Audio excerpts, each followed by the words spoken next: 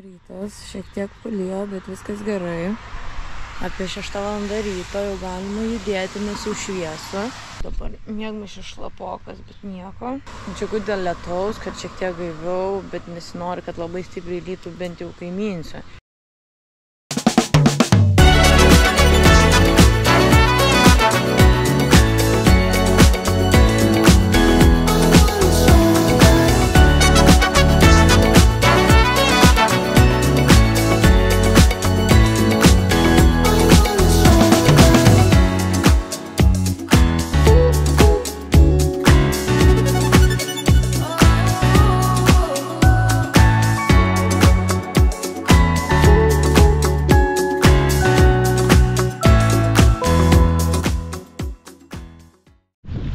Tamsus debesiukai ateina.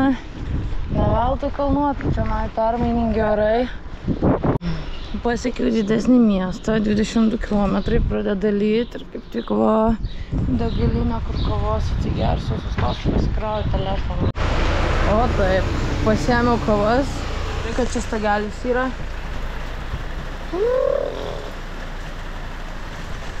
Pažiūrim. Ta proga dar pavalgysiu. Nuo vakar sūrio turiu. Nes jei dabar važiuosiu, tai aš sušlapsiu iki vakaro ir aš neišdžiūsiu. Nors šiandien tikslas pasiekti kempingą ir viską pasikrauti. Dabar reikia važiuoti, dabar montuoti. Reikia dabar šiek tiek irgi pakrauti dalykų, nereiks kempingį ir galėsiu pamegoti daugiau gal kempingį. Nes sostinė tai tikrai rytoj ryte.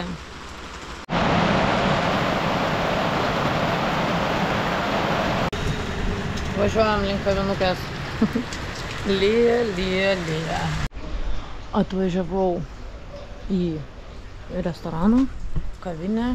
A, čia yra ir viešbutis. Pasižiūrėjau per atsiliepimus e, Google'ai, kad skanu, rekomenduoju. Tai einu čia. Čia pasidėsiu, palauksiu, kol aprims lietus. Pavalgysim, išbandysim kažką tradicinio. Šlapia. Čia palieku vieną powerbanką ir persikraustau. Labai malonu padavėja. Ir vokiškai ir angliškai šneka. Šanai, razėtės. Paprašiau. Pasikrovau powerbanką. Tai užteks iki šiandien vakarą.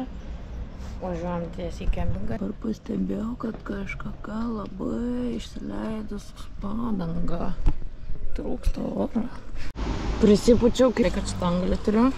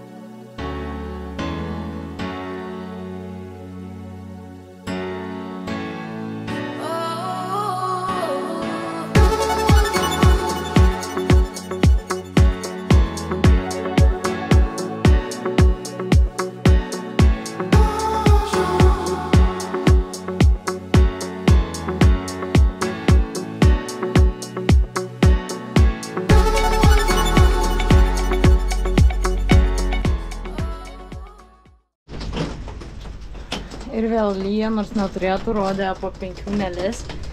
Ir dabar metama iš dangaus ilgailis.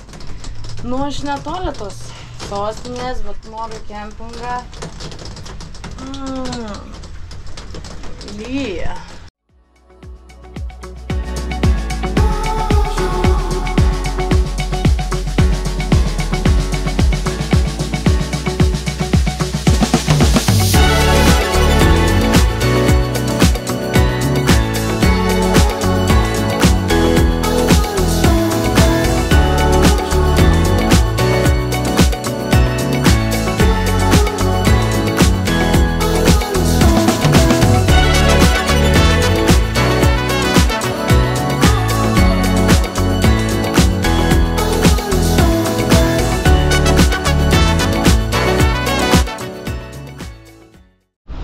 Jau vakarėja, pusė devynių.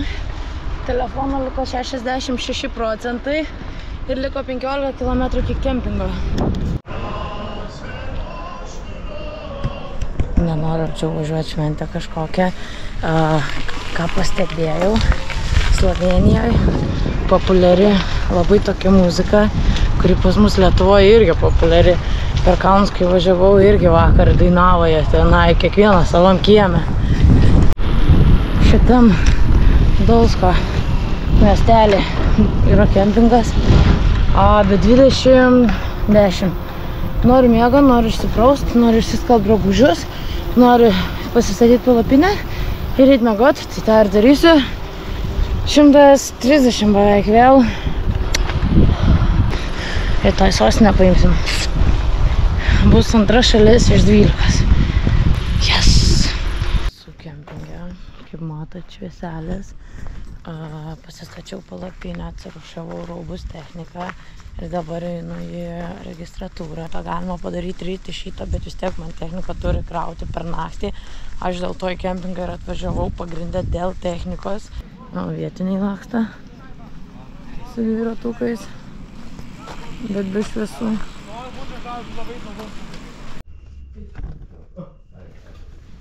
mane labai sukandžiojo tai tik nesimato bet čia visur va čia kažkurią naktį miegojau ir kažkaip visur čia sukandžiojo